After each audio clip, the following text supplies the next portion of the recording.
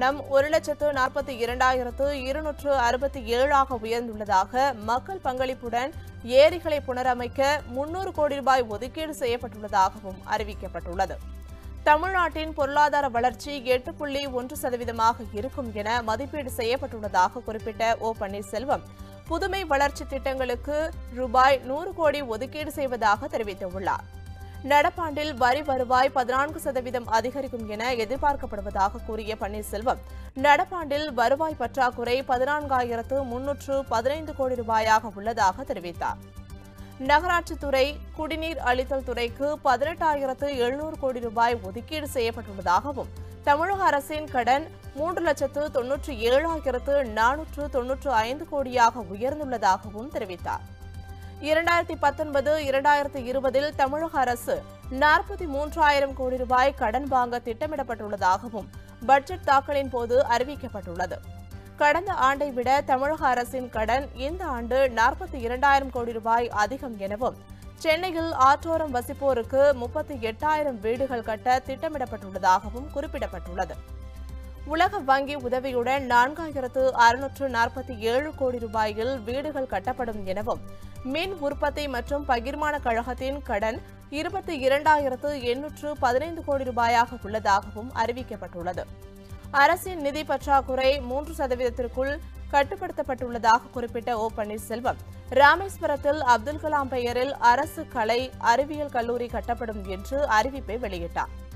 கஜா புயல் நிவாரணமாக இரண்டாயிரத்து முன்னூற்று அறுபத்தோரு கோடி ரூபாய் அளிக்கப்பட்டுள்ளதாகவும் ஜெர்மன் வங்கி உதவியுடன் இரண்டாயிரம் பேட்டரி பேருந்துகள் வாங்கி இயக்கப்படும் எனவும் பன்னீர்செல்வம் தனது அறிவிப்பில் தெரிவித்தார். சென்னை கோயம்புத்தூர் மதுரையில் முதற்கட்டமாக ஐநூறு பேருந்துகள் இயக்கப்படும் என்ற அவர் கள்ளக்குறிச்சியை தலைமையிடமாக கொண்ட புதிய மாவட்டம் விரைவில் உருவாக்கப்படும் என்ற அறிவிப்பை வெளியிட்டார். ஆயிரத்து நூற்று இருபத்தி ஐந்து கோடியில் தேனி சேலம் ஈரோட்டில் இருநூற்று ஐம்பது மெகாவாட் மிதக்கும் சூரிய திட்டம் ஏற்படுத்தப்பட்டுள்ளதாக கூறிய துணை முதலமைச்சர் முதியோர் உதவித்தொகை இலவச வேட்டி வேலை உள்ளிட்ட சமூக வேலை பாதுகாப்பு திட்டங்களுக்கு மூன்றாயிரத்து தொள்ளாயிரத்து ஐம்பத்தி எட்டு கோடி ஒதுக்கீடு செய்யப்பட்டுள்ளதாக கூறினார்.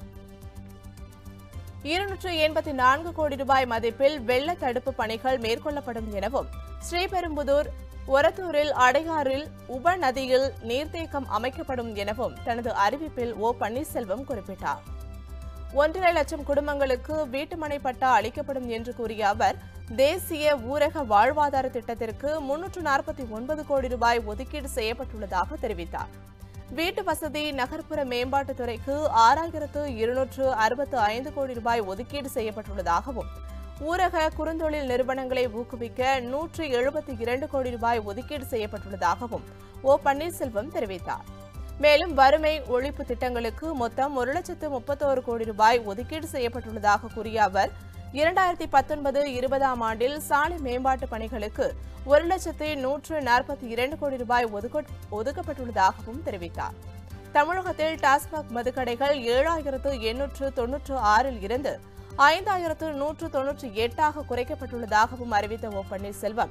இரண்டாயிரத்தி பத்தொன்பது இரண்டாயிரத்தி இருபதாம் நிதியாண்டில் விவசாயிகளுக்கு இரண்டாயிரம் சூரிய பம்ப் செட்டுகள் அளிக்கப்படும் என்றும் தெரிவித்தார். ரயில்வே மேம்பால பணிகளுக்கு வரும் ஆண்டில் எழுநூற்று இருபத்தி ஆறு கோடி ரூபாய் ஒதுக்கப்பட்டுள்ளதாகவும் இரண்டாயிரத்தி பத்தொன்பது இருபதாம் ஆண்டுகளுக்கு நெடுஞ்சாலைகள் மற்றும் சிறு துறைமுகங்கள் துறைக்கு பதிமூன்றாயிரத்து அறுநூற்று ஐந்து கோடி ரூபாய் ஒதுக்கீடு செய்யப்பட்டுள்ளதாகவும் பள்ளிக் கல்வித்துறைக்கு இரண்டாயிரத்தி பத்தொன்பது இருபதாம் ஆண்டில் இருபத்தி எட்டாயிரத்து எழுநூற்று ஐம்பத்தி ஏழு கோடி ரூபாய் ஒதுக்கீடு செய்யப்பட்டுள்ளதாகவும் பட்ஜெட்டில் அறிவிக்கப்பட்டுள்ளது.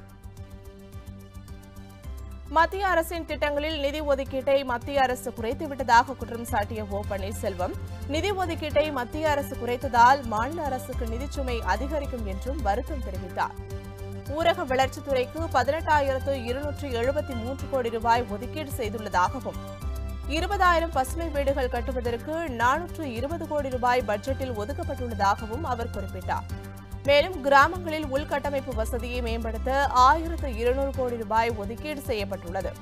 இரண்டாயிரத்தி பத்தொன்பது இருபதாம் ஆண்டில் ஒன்று புள்ளி ஒன்பது ஏழு லட்சம் வீடுகள் கட்ட பட்ஜெட்டில் இருநூற்று அறுபத்தி ஆறு கோடி ரூபாய் ஒதுக்கீடு செய்யப்பட்டுள்ளது.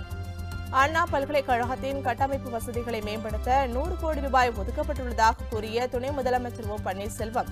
வறுமை கோட்டிற்கு கீழ் உள்ள மக்களுக்கு விரைவில் புதிய மருத்துவ காப்பீட்டு திட்டம் அறிமுகப்படுத்தப்படும் என்றும் தெரிவித்தார். தூய்மை இந்தியா திட்டத்திற்காக நானூறு கோடி ஒதுக்கீடு செய்வதாகவும் மத்திய மாநில அரசு பங்களிப்புடன் கஜா புயலால் பாதிக்கப்பட்ட வீடுகளுக்கு மாற்று வீடு கட்டித்தரப்படும் என்றும் அறிவிப்பையும் பட்ஜெட்டில் வெளியிடப்பட்டுள்ளது.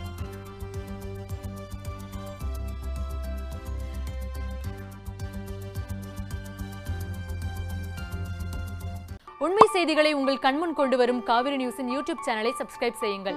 நொடிக்கு நொடி நாட்டு நடப்புகளை தெரிந்து கொள்ள Kaveri news dot TV Facebook Instagram Twitter போன்ற சமூக வலைதள பக்கங்களோடு எப்போதும் இணைந்திருங்கள்.